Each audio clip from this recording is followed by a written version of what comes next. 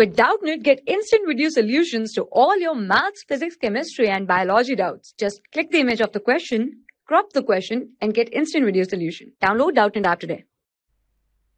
Question is, which of the following statements is incorrect? Kinetic energy may be 0, positive or negative.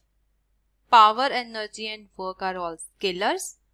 Potential energy may be 0, positive or negative. Ballistic pendulum is a device for measuring the speed of bullets. Let's explain.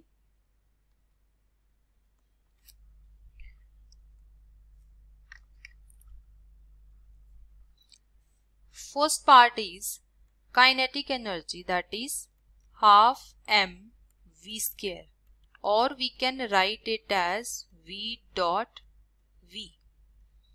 So dot product of 2 is this v square. Square is always positive. So kinetic energy, this implies that kinetic energy cannot be negative because square of any term is always positive right so first option is incorrect because it says kinetic energy may be zero positive or negative right but power energy and work are all scalar this is the right answer because power is also a scalar energy and work all are scalars. Potential energy may be positive 0 or negative.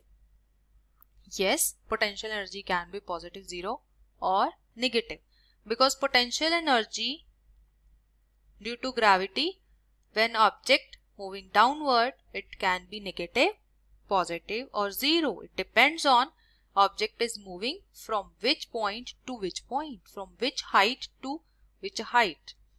Ballistic pendulum is a device for measuring the speed of bullet. This is also a correct option. So we have to choose incorrect option. So we can say that option 1 is the answer. For class 6 to 12, IIT JEE and NEET level. Trusted by more than 5 crore students. Download Doubtnut app today.